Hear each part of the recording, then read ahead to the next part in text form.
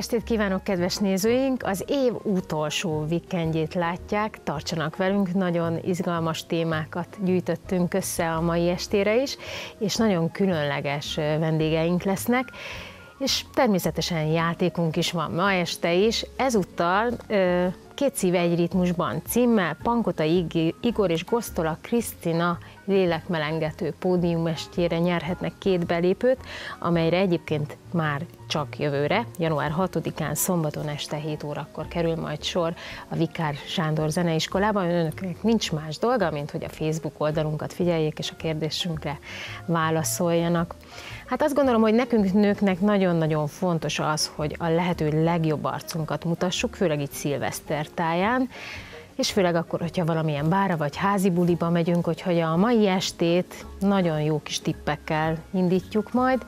Vendégünk Kilosvainé Orosz Mónika, sminkmester, kozmetikus, és egy gyönyörű ö, modellel érkeztél a Moró szalomból egyenesen, és rengeteg-rengeteg dologgal, ami ahhoz kell, hogy ugye kisminkeld ezt a modellt. De egy picit beszélgessünk arról, hogy hogy Szerintem nem árt valamilyen arckezelés is, gondolom, előtte pár nappal, hogy a legjobb formánkat hozzuk. A modellünk esetében persze ez nem szükséges, mert ő még hát arcspirituan fiatal, vagy vele is készítettél, vagy csináltál hát, valamit korábban? Egy picit kijavítalak, mert kortól függetlenül minden smink alá kell, hogy elődolgozzunk.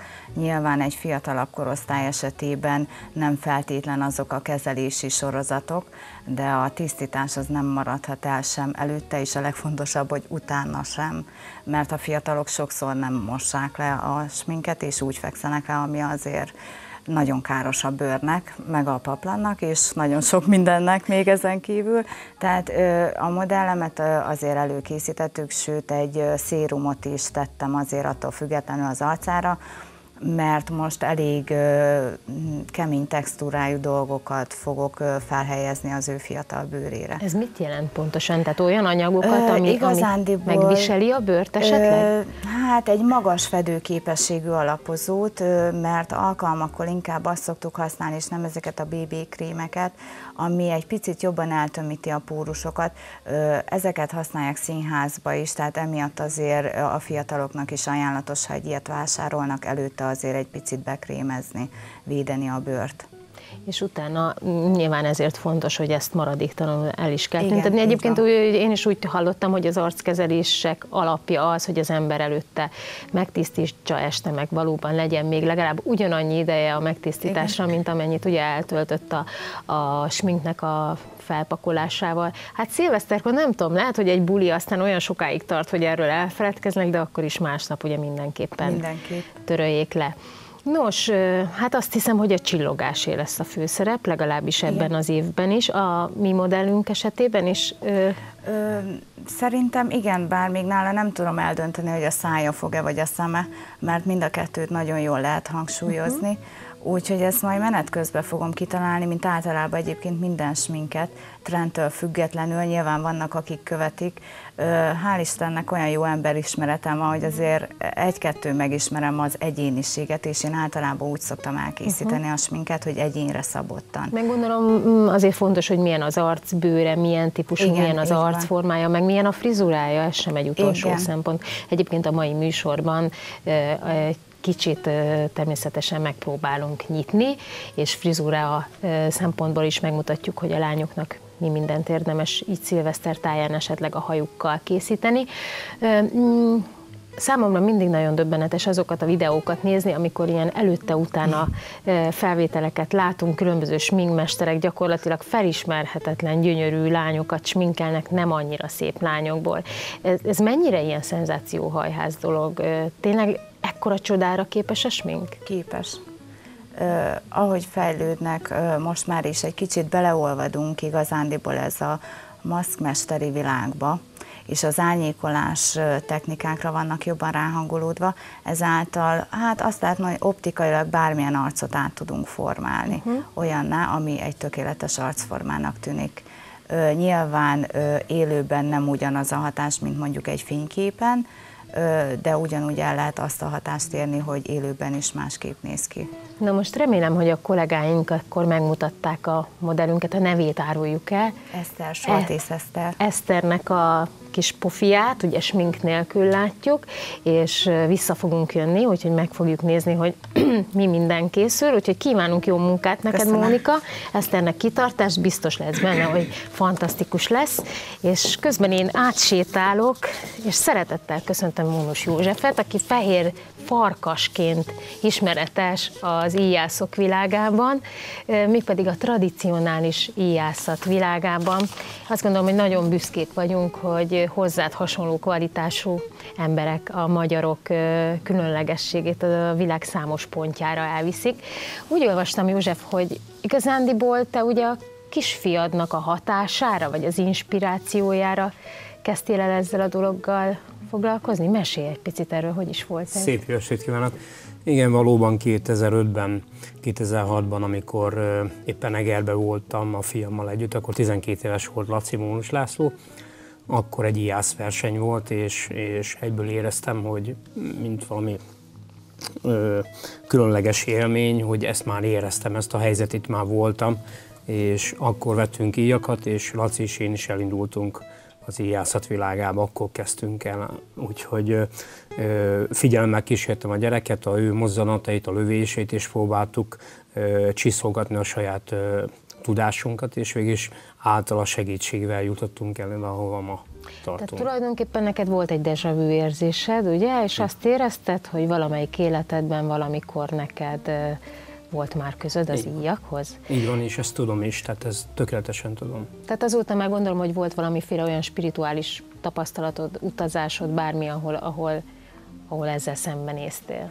Igen, nagyon sokszor. Én nem vagyok templomban járó ember, de el szoktam mondani, hogy ott, amit, vagy akiről az emberek beszélnek, és Istenről beszélnek, és nevezik, én sorsnak hívom, és, és az van, létezik, és mindenki fölött áll, és és az ő segítségével azt gondolom, hogy nagyon sokszor átéreztem ezt a múlt harcait. Úgy is szoktam megfogalmazni, hogy én a múltban harcol ugyan, de a jelenben akarok mindenkit legyőzni a múlt tiszteltér, a zászló becsületér.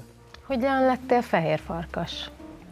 Mongóliában jártam, és ö, ö, egy pont akkor lőttem a legnagyobb lövésemet életemben, 2012-ben. 653 métert lőttem Genghis Khan földjén, és ott voltak mongol harcosok, farkasvadászok voltak közöttük, és az egyik azt mondta, mesélge, beszélgettünk egy este, és akkor azt mondta, hogy, hogy ugyanazt az érzést érezte, mint ahogy a farkas harcol. És elmondta, hogy minden, minden állat, vagy minden ember, vagy vadállat is máshogy védi a gyermekét, máshogy védi, máshogy harcol az életért, de a farkas ez egészen máshogy reagál dolgokra, és ugyanezt a hatást érezte, amikor ott látta az én harcomat, amikor kilőttem ezeket a nyilvesszőket, és ők is elneveztek fehér farkasnak. A fehér az onnan van, hogy mi vagyunk a legnyugatibb keleti, hiszen uh-huh. mi is onnan vagyunk, tehát keletről származunk valójában. A fiad egyébként, aki ott volt ugye az első mm, i fogásnál és annál az érzésnél, ő, ő mit szól mindenhez? Ő a világ legszerényebb gyereke, tehát megtapasztaltam azt, hogy amikor megnyerte például az ötödik Európai Bajnoki címét és felment az iskolába, akkor mit sem tudott a pattársa, hogy ez a srác, aki mellett ő már ötször volt Európa bajnok. Tehát ő a feleségem által egy zrényeknek a leszármazottja, az zrényi vonat viszi, elképesztő lövő, elképesztő harcos, tehát évről évre, ha sportiászatról beszélünk, bár én nem vagyok sportember, de a sporti játszható beszélünk, az Amerikában jegyzik, uh-huh. ott van a világ legnagyobb világversenye távlövészetben, és kétszer olyan világrekordot lőtt, amit, amit lőhetetlen volt. Ott voltam, láttam, nagyon rossz körülmények között, tehát lehetetlen dolgot tett, elképesztő lövést tett, úgyhogy örültem neki, hogy a fiamnak tekintettem, és a, a fiamról van szó, elképesztő lövés. Ugye te mérnök vagy végzettséget szerint, mennyire kell fegyelmezetnek lenni ennél a sportnál? Ahogy mondtam, nem vagyok sportember, tehát én szakítottam ezzel a világgal, és érdekes, a sorsiróniája pont itt, itt végeztem a mezőgazdasági főiskolán Nyíregyházan, itt szereztem az oklevelemét, 2006-ig éltem a gazdasági világban. Attól kezdve akkor szakítottam ezzel a mérnökséggel és minden mással, ami e, e világhoz köt, és tényleg elindultam a magyar zászló becsületéért harcolni a nagyvilágba. Világversenyekre járok, 7-8 világversenyre, és onnantól kezdve, onnantól kezdve, hogy szakítottam a sportíjátszattal is, mert számomra a sportember, a sportíjász az magáért harcol, én pedig a zászlónkért. És hogy szakítottam a mérnökséggel, a gazdasági világgal, egy másik világba kerültem, és én ebben érzem jól magam. Mire vagy a legbüszkébb? Azt gondolom, hogy ez jó kérdés, ez most nagyon... Azt gondolom, hogy nagyon büszke vagyok arra, hogy annyi ember aki érdek nélkül a életem során nem mögém, hanem mellém állt. Tehát az érdek nélkül emberek barátságára vagyok a legbüszkébb. Tehát amikor eh, érdekek vezérlék embereket, és azáltal lesznek barátok, az, a, az, az, az semmire való barátság. De mellém olyan emberek állnak, milliók állnak valójában, akik hiszik az zászlónak a becsületét, és akarják a, a büszkeséget, a magyarság tudatot akarják, és látják a harcaim során, vagy mikor hazajövök egy-egy világversenyről, és, vagy a világversenyen a győztes jogán, a dobogó legmagasabb fokán megmutatom a magyar zászlót, és azt hírül veszik ők Magyarországon, akkor ezek az emberek tényleg mellém állnak, és azt mondom, hogy együtt sírunk, együtt nevetünk. Erre nagyon-nagyon büszke vagyok. Hogyha olyan gyorsan repülnél előre az időben, mint amilyen gyorsan az íjat hasítja a levegőt, és nem is tudom, hogy, hogy, hogy hogyan is tegyem fel a kérdést, de mi lenne az a távolság, ahova szeretnéd magad érezni? Tehát mi lenne a célja ennek a, ennek a zászló vivésnek? Milyen világot szeretnél? büszke öntudatot szeretnénk az embereknek. Tehát volt egy beszélgetés egy valamilyen műsorban, már nem emlékszem, és megkérdezték, hogy, a, hogy, hogy, lehetne, hogy lehetne a gyerekeket a magyarságra nevelni. Tehát itt el kell mondani azt, hogy minden nagy történelmi népnek megvannak a nagyjai, de mi magyarnak születtünk. Ezért vallom azt, hogy akkor mi bármerre járunk a világba, akkor büszkén mutassuk meg a magyarságunkat. Én ezt szeretném e, megmutatni az embereknek, és, és e, ezt, a, ezt a világot akarom e, tehát oda eljutni, hogy, ez, hogy e, a gyerekek rájöjjenek arra, hogy ők büszkék a múltjukra. Tehát a, a zászlókról beszélek. A zászló az azt jelenti, a múltat jelenti. Tehát itt nincsenek személyeskedések, nincs ugye most a tudatunkban egy Rákóczi, egy Zényi, tehát nem, nem látjuk a kiskirályoskodást, a, a veszekedéseket, a személyeskedéseket, hanem, hanem egy, egy vonalat látunk, és tényleg én ezeket a vonalakat látom, és erre szeretném felhívni. És azt szeretném, hogyha a gyerekek majd rájöjjenek arra maguktól, mert eljön az idő, én 40 évesen jöttem rá a zászló szeretetre, amikor kell, és arra érdemes az gyerek, akkor majd rá fog jönni, hogy, hogy legyen büszke magyar. És én, én ezt szeretném, hogy, hogy oda vezessem az embereket az én kilőtt nyilvesszőjémmel, hogy tényleg örüljenek annak, és értékeljék azt, hogy mi magyarnak születtünk. És mi, mi a legnegatívabb érzés, ami ellen harcolni kell? A félelem, vagy a közöny, vagy a, a fásultság az emberekben? Hogy látod ezt? Há, nem tudom. Tehát amivel én legjobban találkozok, az irítség. Tehát elképesztő módon irigyek az emberek. Én azt gondolom, hogy minden ember önzőnek szület, születik, és de azt az önzőséget a jó értelmében túllépjük, akkor, akkor, akkor egymás mellé állhatunk. Tehát ez kell, hogy, hogy ne a saját önzőségedet, hanem azt mondom, a nemzet önzőségét vigyük egymás mellé álljunk, és ezzel kapcsoljuk össze az embereket. Én valahogy így fogalmaznám meg. Szerintem ez a cél alapvetően. Hát kívánjuk, hogy sokan legyenek, és szegüljenek a, a falka, falkához, hogyha már itt a, a fehér farkas az, aki ezt az ászlót töretlenül viszi előre, és azt kívánjuk, hogy hogy nagyon sokáig nagyon ö, nagy kitartással tud ezeket a nyilvesszőket, vagy ívesszőket, nem is tudom, nyilvesszőket nagyon messzire lőni, hogy ezzel ezt, ennek az üzenetét sok helyre el tud vinni az országba. Úgyhogy boldog új évet kívánunk, és köszönjük szépen, hogy itt voltál velünk, és mindenről meséltél. Köszönjük Nagyon szépen még köszönöm egyszer. én is, hogy itt láttam, és azt gondolom, hogy ha mindenki megérti azt, hogy a büszkesége, a nemzettisztelete az, oda ö, mutathat, hogy, hogy valóban egymás mellé állhatunk, érdek nélkül, pénz nélkül, politika nélkül, akkor, akkor irány ez az irány, azt gondolom, és menjünk elő, és boldog új évet kívánok mindenkinek. Köszönjük szépen! Köszönöm szépen! Hát előre megyek, és úgy látom, hogy Mónika itt már valami furcsaságot csinált. Szerintem az történik itt a stúdióban, amiről pár perccel ezelőtt beszéltél, ugye, hogy valami olyan anyagot viszel föl, ami nem biztos, hogy hétköznapi, mert hogy általában ilyen világos színű port, vagy nem is tudom, hogy mi az, amit most az eszterre pakolsz, mm-hmm az nem mindenki alkalmaz. Azt már nem láthatod, mert uh-huh. az már alatta van igazándiból, ez egy ö, áttetsző porpúder, amit javaslok minden, ö, főleg tinédzsereknek, mert hogy ezt önmagába szokták használni, vagy fedőnek, de a színeseket. Uh-huh. Na most, ha színeset használunk, az elszínezi az alapozót, egy szintelen porpúder, viszont az alapozó színét nem változtatja. Uh-huh. Ö, sokszor azt mondják, hogy nem jó az, hogyha meg felesleges porozni, de mivel csillámporral akarok dolgozni, én beszoktam pakolni alá, mert hogyha rám hullik a csillámpor, vagy bármi olyan dolog történik munka közben, akkor ezt a végén egyszerűen leseprem, és nem hagy nyomot az alapozóban. De már azt meg. is látom, ha jól látom, nem tudom, hogy valami arcpír is került, ugye a modellnek a Igen, de az nem a pír, hanem ez az ányékolás technikával, egy sötétebb ányalattal úgymond berajzoltam a pírnek a helyét, ahova fog kerülni, uh-huh. és ezáltal már így könnyebben fogjuk tudni odarakni a pirosítót, meg egy picit így be is úgymond szűkítettük itt az arccsont alatt, mert az arccsontot szeretném hangsúlyozni.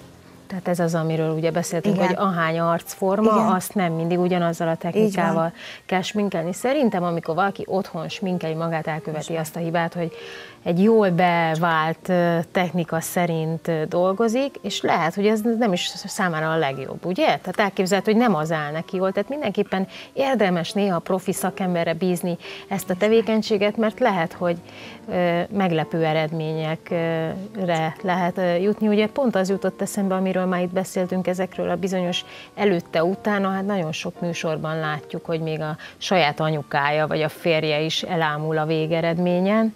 Számodra mi a legnagyobb öröm, hogyha mm, mit mond a modell, vagy a kuncsaft, aki beül a kezeid alá? Azt csinálsz, amit szeretnél. Tényleg? Tehát Igen. szeretsz akkor kreatívkodni, Igen. szereted magad rábízni, vagy szereted, hogy rád, rád bízzák magukat a, a lányok.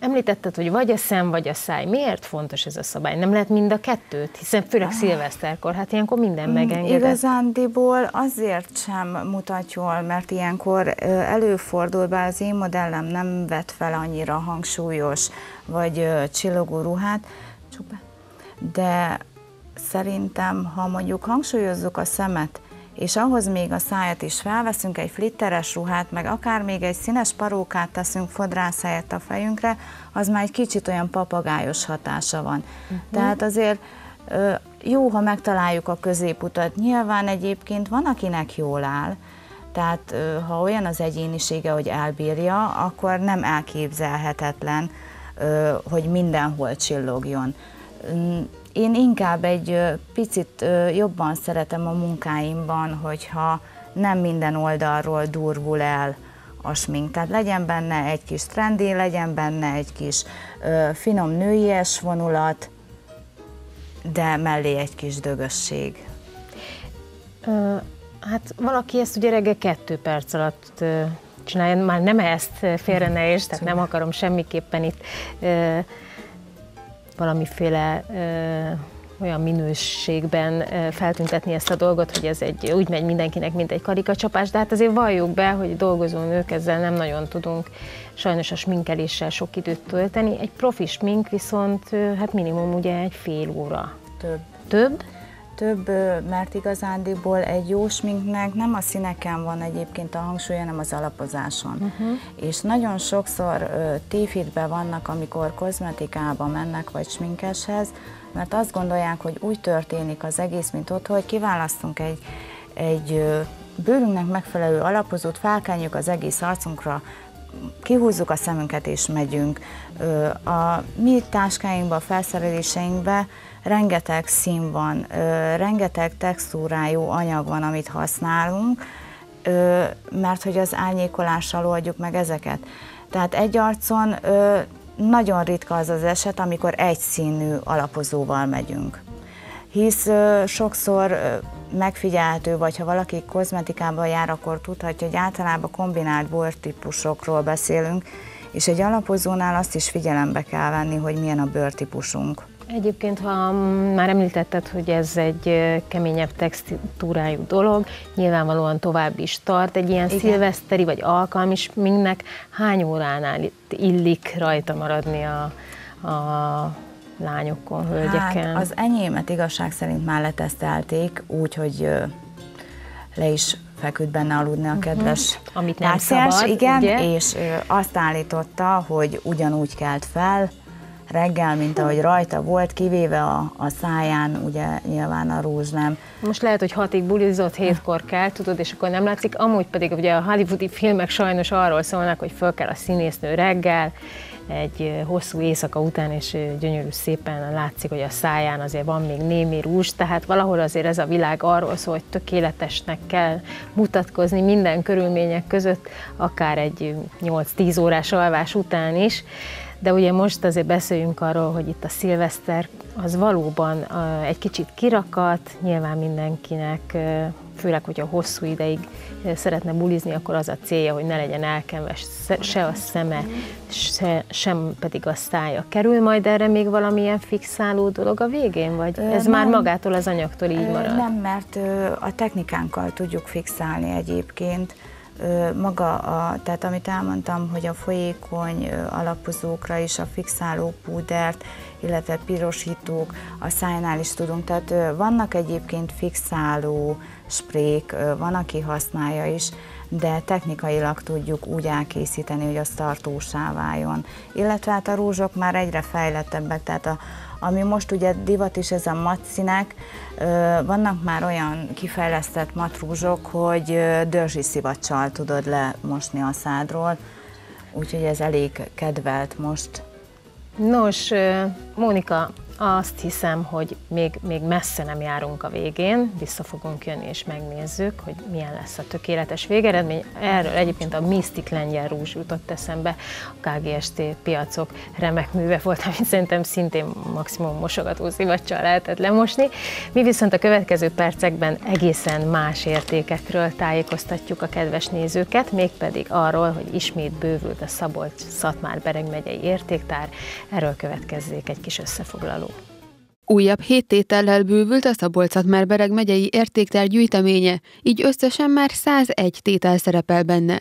Az egyik új eleme a Józsa András Múzeum honfoglaláskori leletei. A bizottság ülésezett, meg volt az utolsó bizottsági ülésünk 2015-es évben, amely nagyon tartalmas év volt, hiszen rengeteg érték került be a megyei értéktárba, és így most már a mostani értékekkel együtt, mert azért több értékbe került a legutóbbi, legutóbbi bizottsági ülésen, 101 darab értéknél tartunk, de pontosan tudjuk, hogy ez még mindig nem teljes ez a lista, hiszen folyamatosan kerülünk eh, olyan értékek közelébe, amelyekről, amelyekre akkor döbbenünk rá, hogy akkor hoppá, ez még nem szerepel ebbe az értéklajstromban. Úgyhogy hál' Istennek van még munkánk, Szabolcs-Szatmár-Bereg megye bővelkedik az értékekben, és hát eh, biztos vagyok benne, hogy a 2018 is egy nagyon tartalmas év lesz. Most eh, az adott helyszínből fakadóan, ugye a honfoglaláskori, Szabolcs-Szatmár-Bereg megye honfoglaláskori leletei, emlékei az egyik érték, amely a értéktárat gyarapítja. Azért vagyunk itt a Jós András Múzeumban, hiszen itt van az egyik, az országban az egyik legnagyobb ilyen jellegű gyűjtemény. Ezt mindenképpen szerettük volna, az, hogy egy egységesen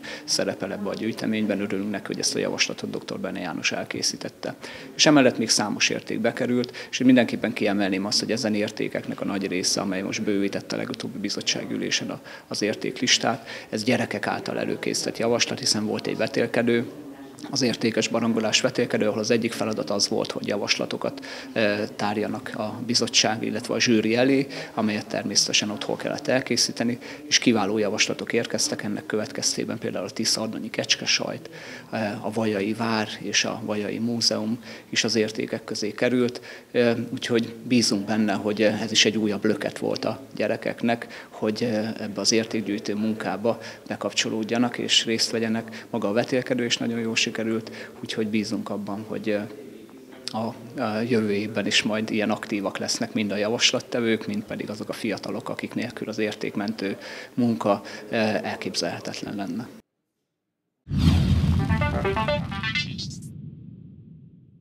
Hölgyeim és uraim, Ilosvainé, orosz Mónika, villámkező, sminkes, ugye pillanatok alatt valami fantasztikus eredményt produkált Eszter arcán, hát azért persze ez kellettek Eszter szülei is annak idején, ugye, jó volt az alap. Nos, hát elkészült, akkor szerintem ezt a kis valamit vegyük le, mert ugye így nem illik elmenni bulizni. Ott hagytuk abba, amikor még mindenféle dolgok voltak Eszter szeme alatt, és mi mindennel fejezted be, hogyan lett ilyen tökéletes a végeredmény? Hát, ahogy beszéltük, lesepertem a port, és csoda lett belőle. és ez lett alatta. Egy nagyon erős pink rúzs, ugye? Egy kis Igen. csillogó ö, ajakfény, ez marad? Ez evési vásárló, vagy olyan azért nem létezik? Hát az alatta levő, igen, mert amúgy egy mattal gondolkoztam, de valami hiányzott, és így a finisbe még egy fényt ráraktam, úgyhogy az alatta levő, az tartós, a fény az evésívás után azért az el fog tűnni. Még azt kérjük, Eszter, hogy egy picit csuk be a szemed, mert így lehet látni azt a nagyon különleges hatást, olyan, mint egy pici pávaszem, vagy nem is tudom, mi volt az alapú. Milyen? Ez egy orosz technika, az oroszok szeretik ezt a vonalvezetést, én meg szeretem az orosz vonalvezetést is, az orosz minkeket is, ugye általában, ahol lehet, azért bele szoktam csempészni. Nos, szerintem Eszter kinyithatod a szemed, üdv ismét itt a valóságban, milyen lesz a szilveszter lányok, akkor egy pár szót, gondolom Monika neked egész napos melóval, ugye, sminkekkel? Ö, nem biztos, hogy úgy lesz, mert most lehet, hogy pihenőnapot adok magamnak, mert az elmúlt tizen évben egy kicsit fárasztóak voltak a szilvesztereim, úgyhogy győzködnek, de még nem döntöttem el. Nos, hát bárhogy is döntesz, akár munkával, akár pihenéssel, minden esetre köszönjük, hogy eljöttetek hozzánk, és ö, megmutattátok, hogy mi mindent lehet egy ügyes profi kéz által elvégezni. Békés boldog új esztendőt kívánunk nektek, a kedves nézőknek pedig ö, a továbbiakban is kellemes időtöltést. Mi nem sokára jövünk majd vissza a weekend második részével. Tartsanak velünk akkor is. Thank you.